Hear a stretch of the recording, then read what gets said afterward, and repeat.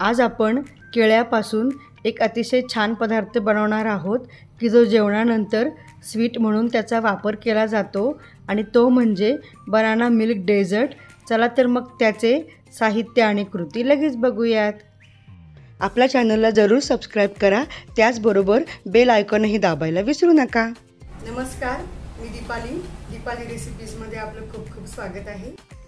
Banana milk dessert बनवण्यासाठी सगळ्यात पहिल्यांदा तुमच्या आवडीप्रमाणे दोन ते तीन केळी स्मॅश करून घेऊयात. यानंतर गॅसवरती एक पॅन तापत ठेवलेला आहे. यामध्ये आपण स्मॅश केलेले केळी घालून घेऊयात. यामध्ये आपण एक वाटी साखर घालूयात. दोन चमचे कॉर्नफ्लॉवर घालूयात. एक कप दूध घालून हे सर्व मिश्रण दोन ते तीन मिनिटांसाठी मंद आचेवर शिजून घेऊयात. हे सर्व मिश्रण सर्विंग बाउलमध्ये घालून यावरती आवडीप्रमाणे केळीचे काप घालून घेऊयात. एका पॅनमध्ये मी एक वाटी साखर घेतलेली आहे.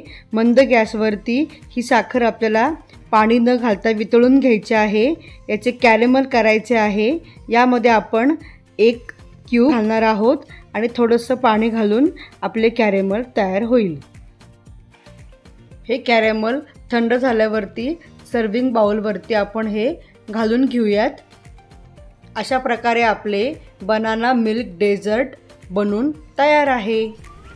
व्हिडिओ आवडल्यास कमेंट करा.